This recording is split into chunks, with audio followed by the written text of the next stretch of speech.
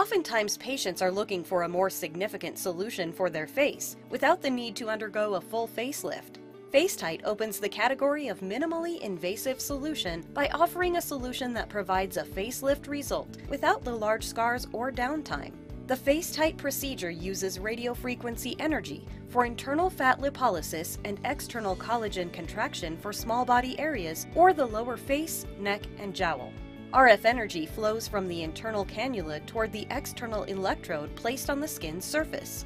RF power is regulated based upon online measurements of skin temperature and tissue impedance.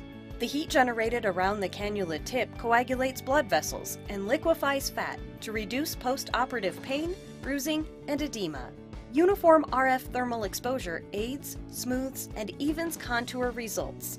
Thermal contraction of fibrous septae and dermal collagen results in immediate contouring, which continues to improve over the next six months.